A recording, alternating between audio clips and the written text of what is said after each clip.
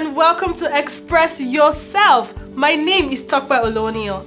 Today on the show, we're going to be talking about the child not bride situation here in Nigeria, which came up after a renowned senator took a 13 year old girl as his bride.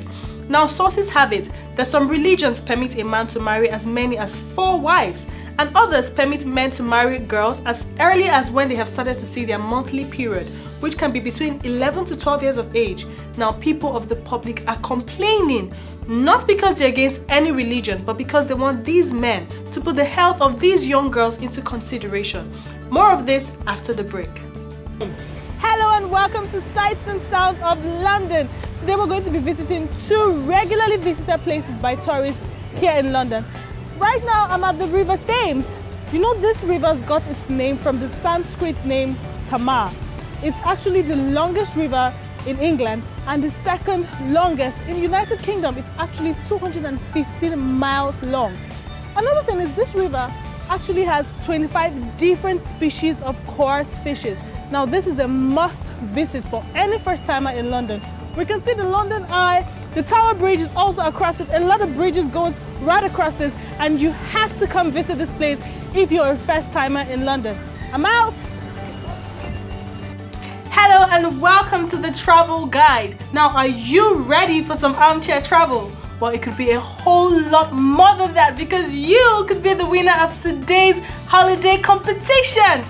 All you have to do is answer this simple question. Which fortified wine gets its name from the Portuguese town of Oporto? Is it A. Sherry, B. Madeira or C. Port? If you think you know the answer, then give us a call on 0800 222 333. Calls cost no more than 25p and we would announce the winner at the end of the program. Hello, I'm Tokpa Olonio and welcome to Bay Launch News. Today we have three different stories which are Local boys stabbed in Wembley Park, the increase in A-level results in Brent, and a ridiculous day when the sky went black and many people thought it was a scene from the film titled Apocalypse. First, the tragic story of a youth getting stabbed whilst on the 182 street. We're going to Victor Nathan for the latest development on this case.